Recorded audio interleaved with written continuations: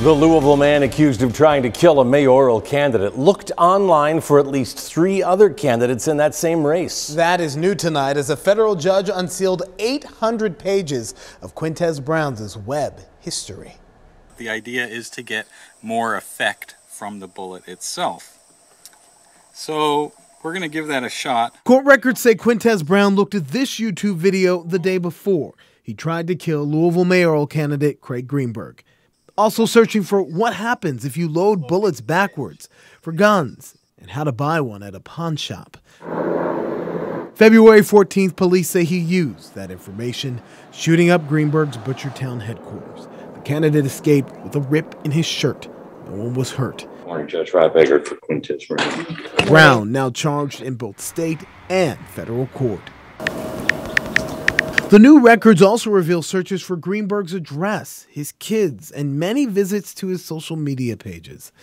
Federal prosecutors laid it all out in an attempt to keep Brown locked up without bond.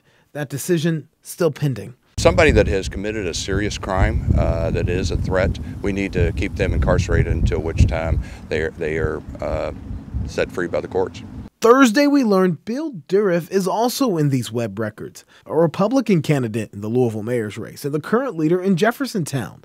On the same day of the shooting at Greenberg's office, a search for Jeffersontown City Hall. Dieruf says the FBI alerted him, but he's not concerned. The fact that somebody just simply Googled me uh, is, it, it, it wakes you up, but it's still nothing compared to the mother that has lost a child that isn't even close to it. So the fear that you may say, why aren't you? Uh, it's not there because my concern is keeping the rest of the community safe. Prosecutors are trying to frame Brown as calculating and dangerous. The defense saying the activist, writer, and once star U of L student is battling mental illness.